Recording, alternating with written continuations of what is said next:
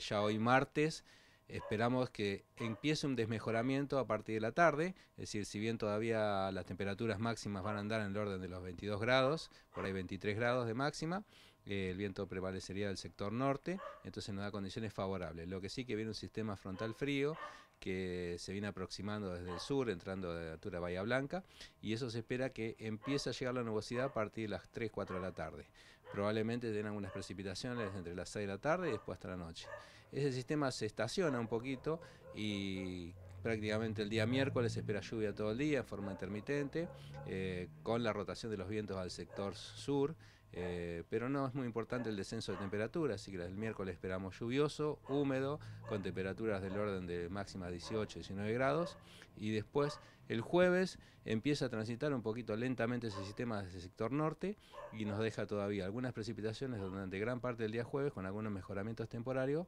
y la temperatura empieza lentamente a subir eh, alrededor de los 19-20 grados y después el viernes como el día de transición y esperamos el sábado con las mejores condiciones, es decir, con temperaturas de 22 grados de máximo, bastante soleado, los vientos prevaleciendo del sector norte y parte del domingo hasta media tarde, es decir, hasta partir nuevamente, hasta partir 4 o 5 de la tarde que empezaría a desmejorar porque viene otro sistema. Es decir, que ahora lo que se vislumbra es que empiezan a entrar sistemas más rápidos, precipitaciones no tan importantes como las pasadas, sino que sí, inestabilidad. Lo que también es un factor importante tener en cuenta la humedad, que son valores por encima del 90% prácticamente toda una semana, y eso va a dar condiciones por momentos de nieblas, neblinas, eh, acompañado a las temperaturas que para la época son elevadas, es como sensación de agobio, es decir, eh, humedad, y, eh, lluvia y temperatura elevada, una combinación un poco extraña, ¿no? Pero